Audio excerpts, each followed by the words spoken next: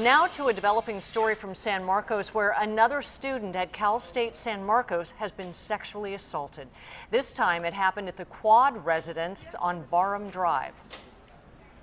10 News broke the story in the live center at 5 o'clock and new tonight reporter Dan Haggerty shows us why it seems police may be close to an arrest now. Well, around campus and here at the quad where this happened, they've been handing these out to students, crime alerts. They also have them here on the door so anybody who goes in and out can see, as well as sending alerts straight to people's phones.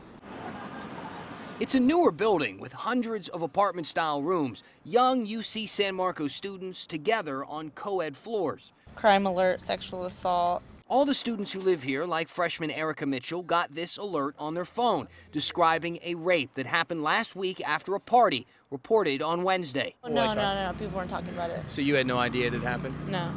Just secure your house. Officers have been spreading the word with routine walkthroughs, and the flyer sure seems like they have some good leads with a specific description African American, 21 they know he's not a student and that he may live in Escondido. They posted them all over campus. But there's been like bulletins on campus of other rapes that have happened at parties and stuff. Wherever we go, however we dress, no means no and yes means yes. We've been bringing you those stories too, since a date rape drug was used at an off campus party. This week, police thought they finally had their suspect from a campus fraternity, but DNA cleared him, leaving a school ranked the safest in all of California with two unsolved rape cases.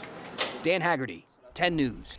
And we pulled up this map just to show you how many sex offenders live in the Cal State San Marcos area. Take a look at this. According to Megan's Law, 18 registered sex offenders. This is just a two mile radius. But now we're told that this sex offender lives in Escondido. Here's another map. Megan's Law, Escondido area. 168 registered sex offenders in that area. 10 News, of course, is going to continue digging into the story and will bring you any new developments.